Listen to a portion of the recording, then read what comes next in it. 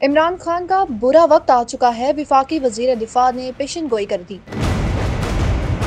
सबक वजी अजम और चेयरमैन तहरीक इंसाफ के हवाले से बात करते हुए विफाकी वज़ीर दिफा ख्वाजा आसिफ ने कहा कि इमरान खान इकतदार की हवस में मुल्क के लिए खतरा बन चुके हैं।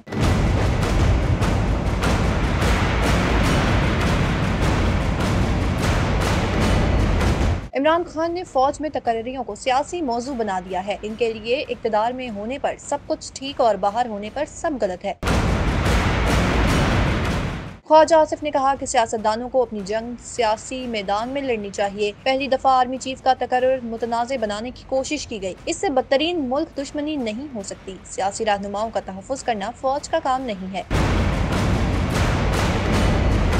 कौम और मुल्क की सरहदों को तहफ़ देना फौज का आईनी काम है। इमरान खान या किसी और को ऐसी गुफ्तगु नहीं करनी चाहिए। इमरान खान ने कहा की ये न्यूट्रल नहीं हो सकते। विफाकी वज़ीर ने मजीद कहा की पाकिस्तान का दिफा और मीशत हमेशा भारत की हिट लिस्ट पर रही है। उन्होंने इल्ज़ाम लगाया की जब से इमरान इकतदार की राहदारियों से बाहर है, उन्होंने इन दोनों शोबों पर हमला किया है।